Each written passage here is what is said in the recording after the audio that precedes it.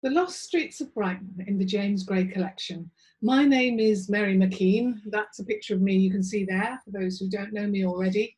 Um, I've put that picture there because I need to apologise. I have not put a floating image of myself on any other slides in this presentation um, because when I tried to do that it obscured other images. So this is the only picture of me you will be seeing, I'll be, I'm pleased to tell you.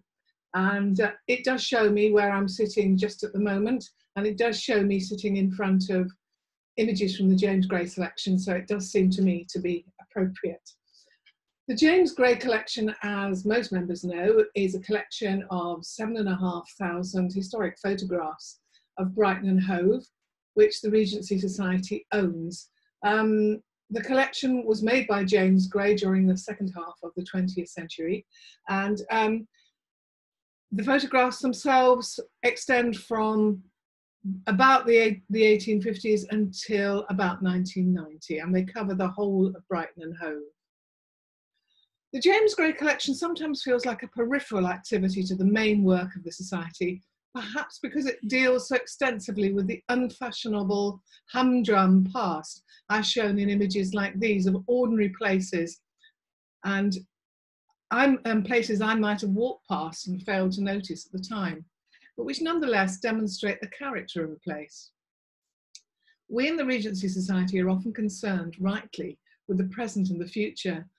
However, having now worked closely with this collection for the best part of three years, working on a project to create a new website for it, I've come to think that there's much to learn from what it reveals about the past and clues it gives about important decisions and how changes come about in our city, much, is much of which is relevant to today's issues. We talk today of the housing crisis. There's been a housing crisis of one sort or another throughout the past century and beyond. In 1921, Brighton was the second most densely populated county borough in the country after West Ham, and as a long established town, a good deal of its housing was in worse condition. The problem of housing the poor is endemic, and the James Gray collection provides interesting glimpses of the scale and some of the efforts to address it. Slum clearance was the main reason for the eradication of entire streets in Brighton from the late 19th century onwards. The zeal of local public health officials, elected representatives and planners, and the availability of funds from central government under successive national legislation resulted in the wholesale demolition of large areas of Brighton, mostly in the mid 20th century. Whether such a sweeping approach was always necessary or in the best interests of the people who were displaced has been the subject of much subsequent debate. Much has been learned in Brighton and elsewhere about what happens when entire communities are compelled to give up their homes and in many cases disperse some distance away in unfamiliar surroundings. I've looked at some of the images I will share with you in this lecture and many others beside and what there is and whilst there is clear evidence of dreadful living conditions in some, this is not, it is not at all clear to me in others and this makes, has made me wonder what might have been. It also makes me wonder about the impact and unintended consequences of such widespread and, and drastic action. This lecture can focus only on a small sample of the images of lost streets to be found in the collection. There is material for a book on the subject if we were to look at everything. I'll focus on a few important areas where streets have been lost in the mid 20th century which may suggest lessons for us today. Before I start, I just want to explain a bit of background. Um, my father was a civil engineer, and during the 1950s and 60s, he was much involved in the production of pre-stressed concrete, very much like the building material of, it was very much the building material of that era. I have early memories of expositions at the dinner table extolling the virtues as a building material of concrete. He was something of an evangelist for it.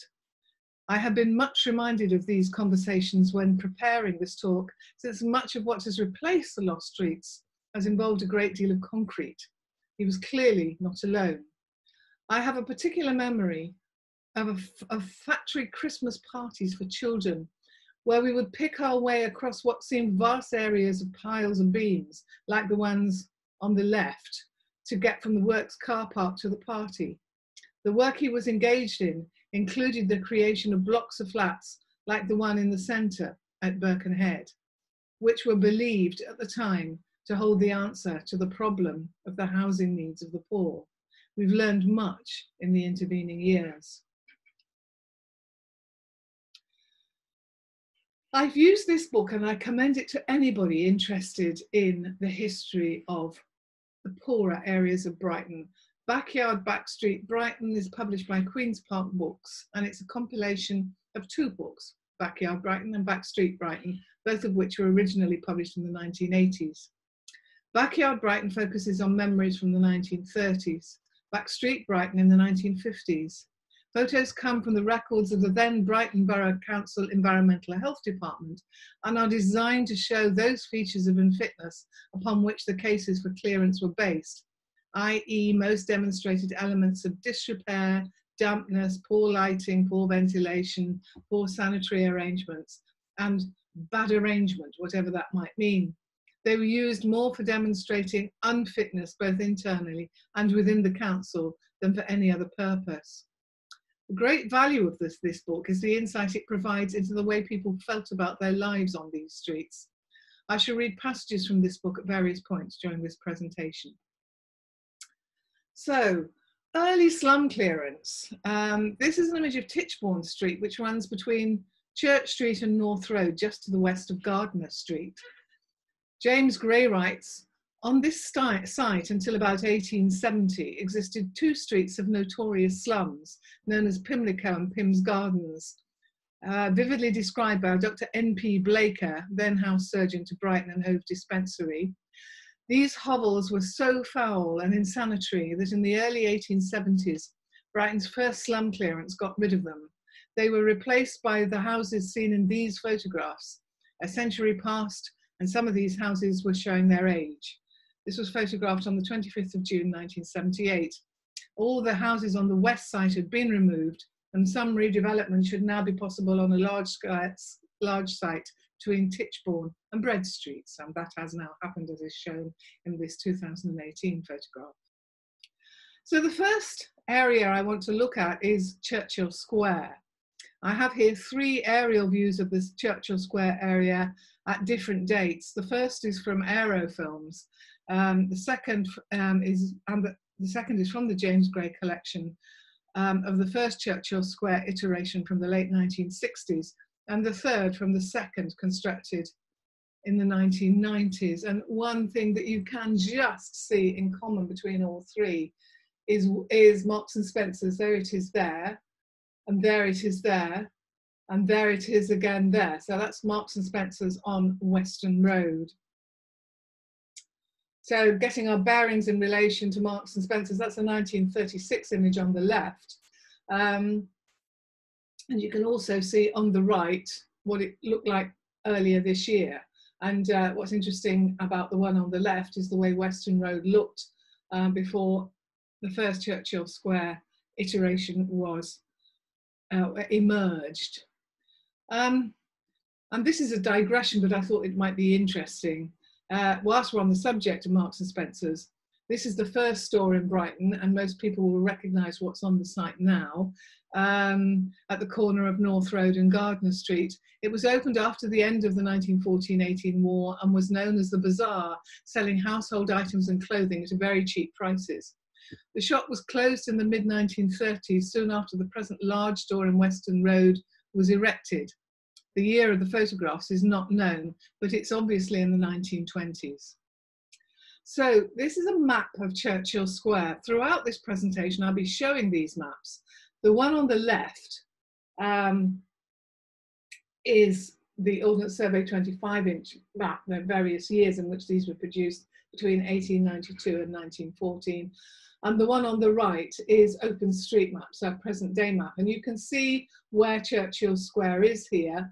Um, there's Western Road, there's West Street. Um, and in that area, there were very many little streets. The ones that have names on this map on the left are the bigger ones. Um, and I'll look in more detail at one or two of those. Oh, before I move on, um, Churchill Square was built on the site of slum clearances undertaken from the 1930s until the 1960s. The streets were not cleared to make way for the shopping centre. As with many streets, they were cleared because they were designated slums. In other words, their undesirability was the main cause for the widespread demolition, which often left places derelict and used as car parks for many years. So I want to look first at Blucher Place and the wonderful Suzanne Hinton has, for the project, attempted to show exactly where this was in this little photograph here. And this is Blucher Place. So we're looking at approximately here on the right-hand image of Churchill Square.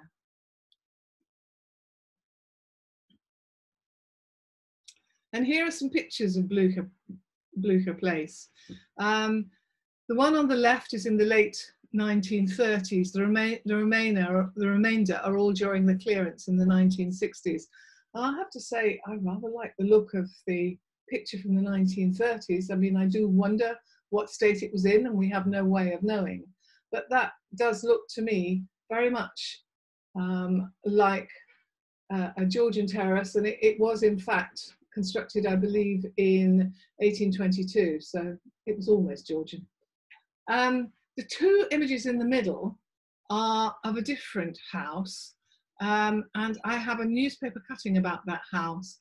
Uh, it's uh, from the 6th of February 1960, and it's entitled The Fight Between David and Goliath. Uh, it's, I think it's the Brighton Gazette was the newspaper at the time. Uh, widow claims compensation for loss of house. It's the lady in question was Mrs. Edith Annie Taylor, and she was seeking compensation of £800 for the loss of her house. And it was clearly a big battle, and that house remained um, on its own for some time. Mrs. Taylor, who is employed in a nearby brewery, said she paid £360 for the house in 1929. Nine years later, the house next door was demolished by the corporation, and this exposed the east wall of her house to the weather. The damp is now so bad that she cannot use her top room but the house is centrally situated for her work and the shops. Where are they going to put me? Right out in Woodingdean, was her complaint. The estate surveyor said Mrs. Taylor's property had not been modernised and it would not attract a buyer who wanted to modernise. This was one of a row of poor terrace properties and it would never attract such a purchaser. The, the corporation tends to pay less than the market value for a property if they can. It is not the sort of property ever to attract anyone who wished to buy a centrally sited cottage and do it up, um, the surveyor commented. Mr. Grant said the properties which formerly adjoined Mrs. Taylor's house were redeveloped. He added, sorry, were sold to the corporation on the threat of compulsory purchase or redevelopment. He added, it is rare for a property owner who alleges that the property is worth £800 to venture to fight the corporation. So that gives you insight to a number of perspectives at the time. Um, the picture on the right is of the absolutely ubiquitous car park, which happened all over these streets once the houses had been demolished.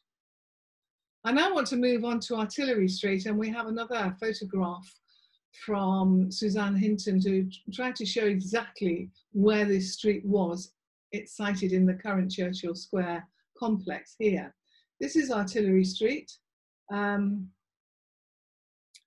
and it was one of the main uh, streets in the Churchill Square area. And on the left, there is a picture of a house on Artillery Street. And on the right, um, the scene as viewed from Blucher's Place it looks across Upper Russell Street to the west side of Old Artillery Street with the Grand Hotel in the background.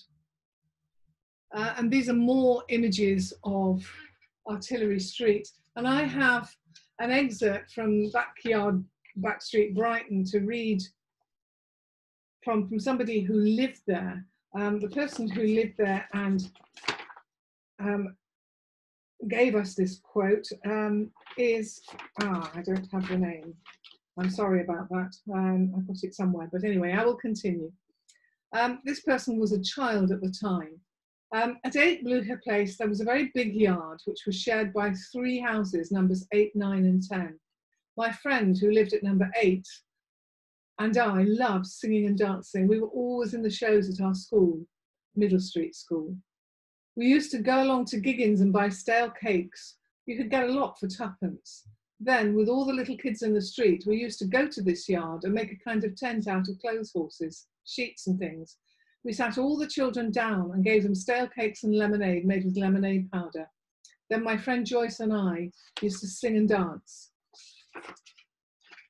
Moving on, um, she says everyone was neighbourly in Artillery Street and children seemed much safer in those days. I remember my childhood with affection and remember the times when we all went to the Hippodrome on a Friday night.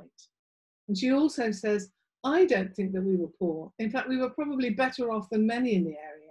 We always ate well, and I had some nice clothes. Some streets in the area seemed poorer. Cannon Street seemed poorer to me as a child.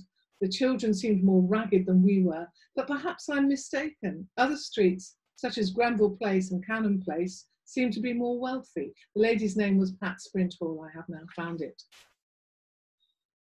And the last street I want to look at in Churchill Square is Milton Place, which is a tiny, tiny little street just north of Blucher Place. And again, we have a, a picture from Suzanne. Um, and I've included this one because it contained a rather lovely building. Uh, Milton Place was constructed in the 1820s, including this house. And James Gray says of the picture on the left, um, a rear view of Milton House as it appeared in 1842. This is a photograph of a drawing by Mrs. Tupper, whose son lived in the house. The house still stands, though very much changed, and much of the large garden is now covered with garages and similar outbuildings. James Gray says, compare this scene of desolation with the drawing of the house and garden. There had obviously been an extension of the house to the south, and the garden had for many years been covered by these old garages. It was photographed on the 6th of December 1964, and these buildings were demolished just a few weeks later. I think this sort of story is kind of typical of what was going on at the time. And there's another couple of pictures of Milton Place. Um, the one on the left is 1957 and the one on the right 1964, more car parking as you will see. So I now want to go on to a major redevelopment area, Carlton Hill. Um, clearance of this area began in the 1930s and continued for some years. Edward Street, and that's Edward Street down there in the older map. And here on the modern map, uh, just so you get your bearings. And here's Pavilion Gardens, Victoria Gardens, and in the same place on the left-hand map, just so that you get an idea. Um, Edward Street and the surrounding house, housing was cleared from, the, from this period until the 1950s, with sites left derelict for some time, blighting the area and much of that to its north for many years. Edward Street was widened and made a dual carriageway at its west end in the 1960s. The law courts were constructed in 1967 and the first Amex house in 1977, now of course demolished and replaced further up the hill. And within Carlton Hill, I want to look at John Street. Now, John Street is still there. So in a way you could say I'm cheating, but it's changed so much that as far as I'm concerned, it's disappeared. Um, James says of, of the view of um, on the left, uh, and here we see Edward Street and John Street, the, the junction between them. Um, it shows Hooker's, Hooker's baker's shop and the small house number two John Street occupied by William Hooker. And of course now what we have there is on that corner is Job Centre Plus. And there's Job Centre Plus again, but this time with an image of um, a house that had become dilapidated in John Street. And that must be, I would think, probably um, 1820s, maybe that house. Many of those houses were from that sort of period. Uh, and this is the other end of John Street, right at the top. Um, the tall building had been a beer house known as the Old English Gentleman, the site was cleared and not occupied again until 1937. Once more, the site is now empty, so part of the blight in that area. And of course, on that corner now. We have the new Amex building. The main road there is Carlton Hill. And William Street, uh, again, this is a street which is still there. It's the other side of the law courts from John Street. Um, and there's a picture of it in 1934, which I actually find quite interesting. Um, it was originally named North Steine Street. It was built about 1815. So this is real re Regency. Many of the places that we call Regency were actually constructed after the Regency had ended, not this one. Uh, it was renamed later after William, Duke of Clarence, later William IV. Um, James Gray acknowledges that this street has always been poor, but uh, this was a rather good looking terrace of Georgian housing, in my view, which predates these other squares, predates Regency Square. Um, and it's also only a stone's throw from the Royal Pavilion. And then in 2019, what we have is yet more concrete. Um, this is the side of, it's just underneath the uh, Magistrates Courts car park, and this is part of the police station and all of these buildings are also part of the police station. Um, I just wonder, is it an improvement? Um, I won't answer that question. This is another picture of some doorways in William Street. Um, and as James Gray said, this street contains some fine doorways and bow windows. Although this photograph was taken in 1930, these doorways are still existing in 1957, he says. The houses shown are 16 and 17. Williams, um, 15, sorry, 16 and 17 William Street, and they provide us with good examples of early 19th century doorways. They were not to be found on any other houses in this street, though the design over the door was used in houses of comparable age in Carlton Street. So if we move on, go up the hill to Mighell Street, um, Mighell Street has didn't disappear entirely. As you can see, I've ringed the little bit of Mighell Street that remained after Amex was the first Amex building was built over its southern end. Um, and in this little bit which remains, there are actually two rather lovely houses which now look squarely onto the side of the new Amex building. This is the, the contrasting scene, a close-up view of the large flint house, 33, on the east side. Um, this house is worthy of being restored and preserved despite the redevelopment going on all around. In 2019, Ruthie Martin commented that 34 and 35 Mighell Street were listed in 1952. They're thought to be a former farmhouse. The semi-detached cobble-fronted house is still a delightful discovery when exploring the Carlton Hill area. And of course now it's on the edge of the Carlton Hill Conservation Area in which if you choose to wander around and take a look, there are other Georgian houses. So that's Mighell Street in 1972 and, and the rump of it looking upwards in 2019.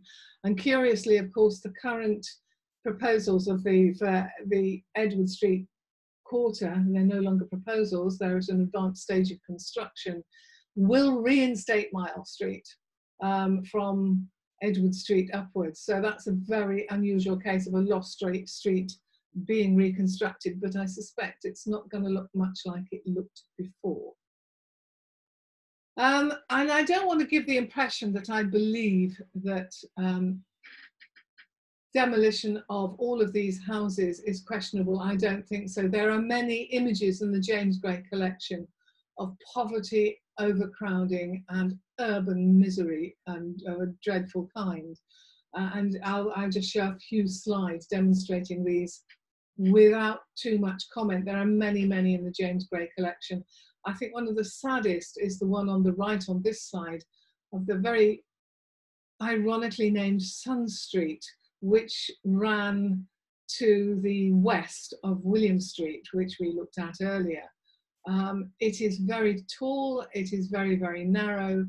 It ran north-south, so I imagine that at the middle of the day when the sun was up, it got a bit of light, but not for very long. So Sun Street is a very unfortunate name for it. And here are some more. Um, you can see how overcrowded and dilapidated the housing looks and how on top of everybody else people were forced to, to live. Um, and an image of children in Upper Park Place in front of a flint fronted, well, nice, I think, flint fronted building. And again, um, houses often separated by hardly enough space to put in a privy.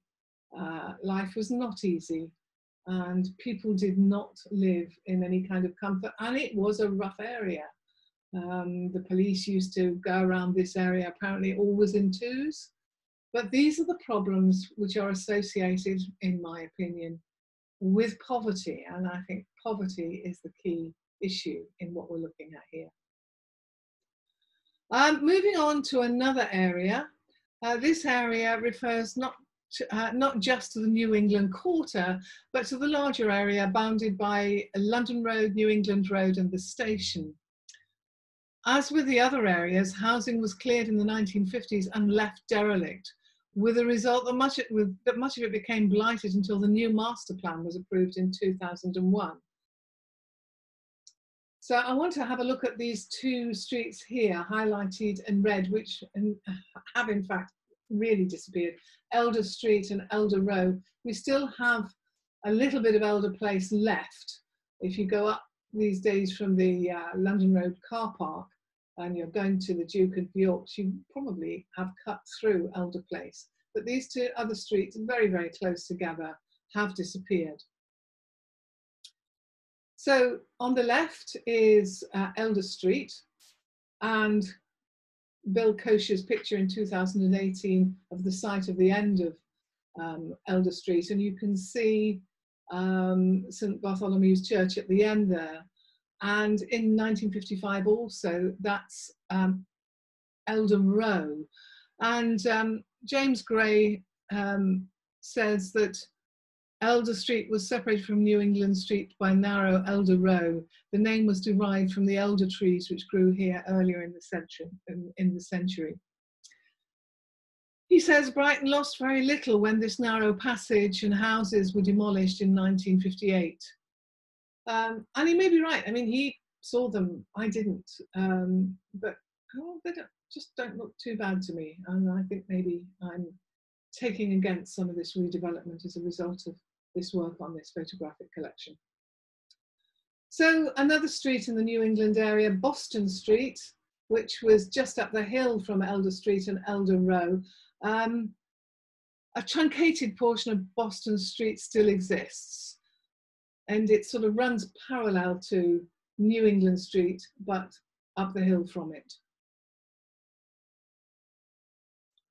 So Boston Street views, that's an image of Boston Street with one side of it standing in 1959 on the left.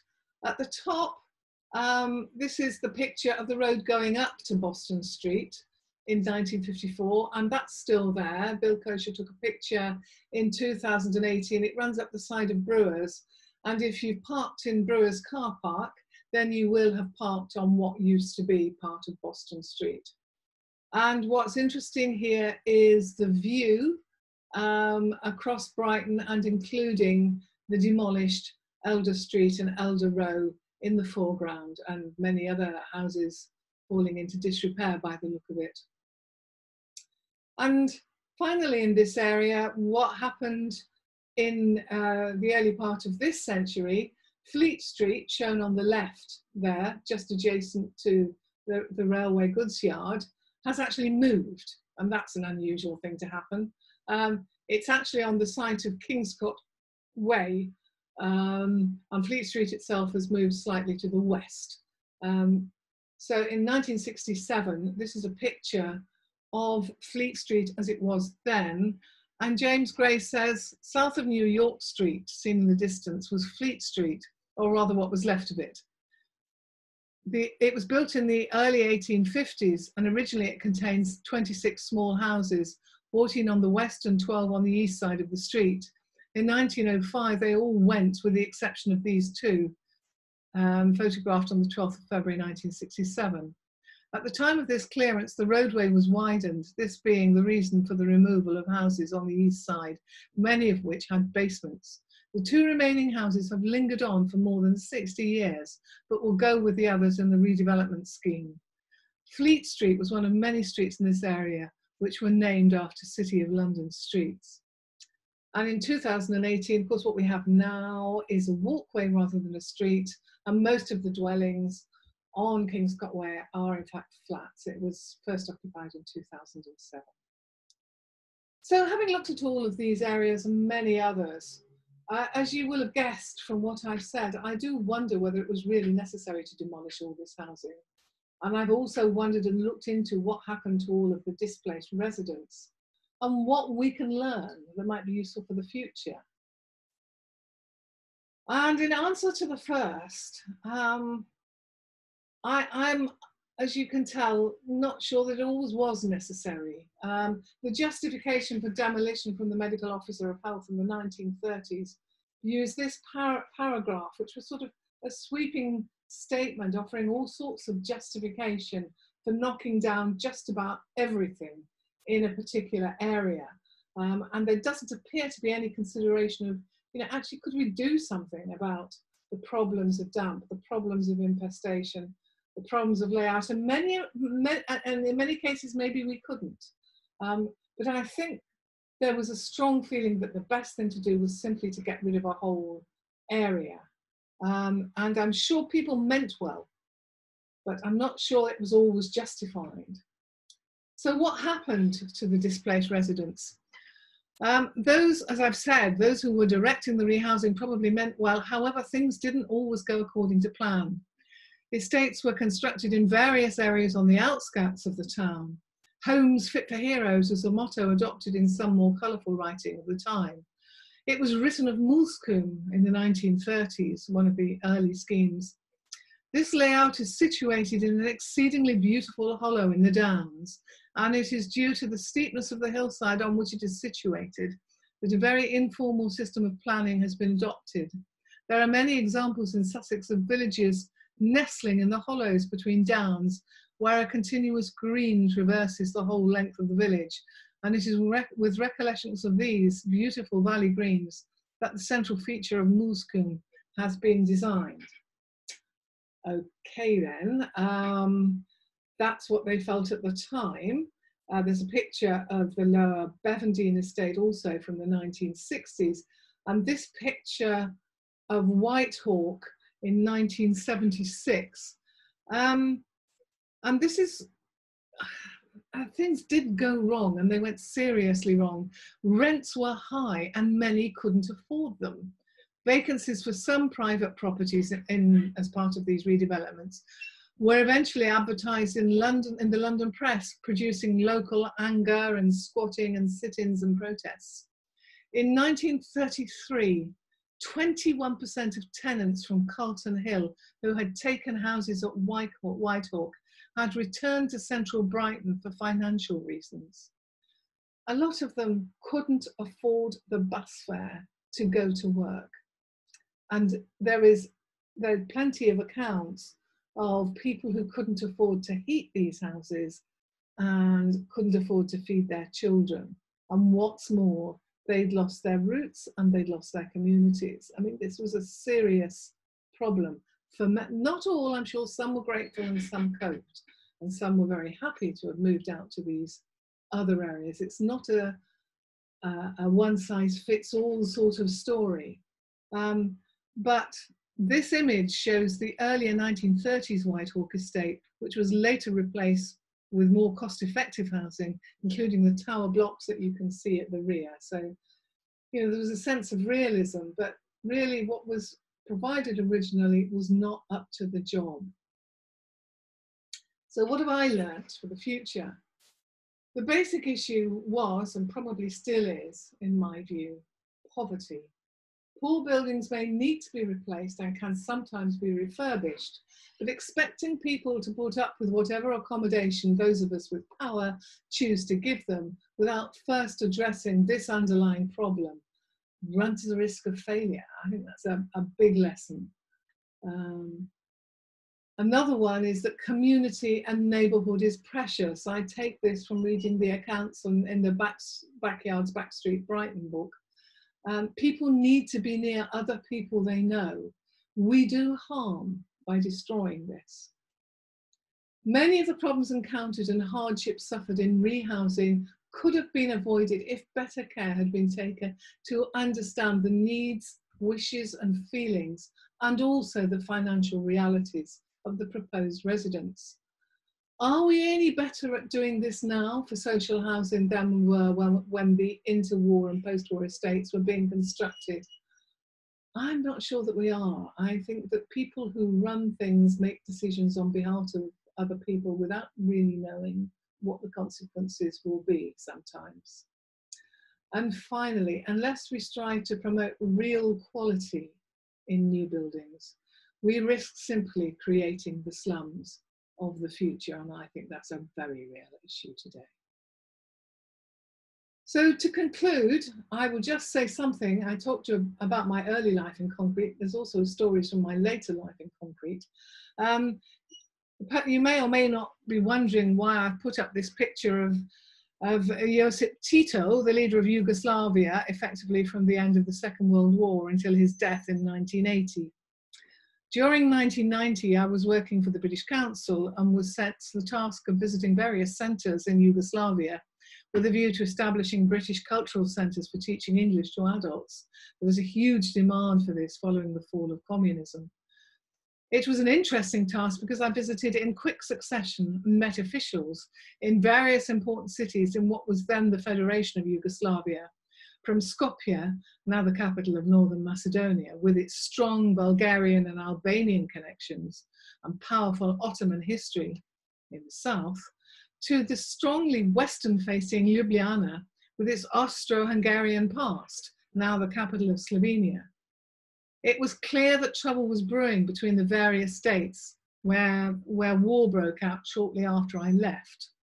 Loathing was evident on all sides of the others, and I remember wondering how Tito had managed to keep a lid on this simmering stew of cultures for so long.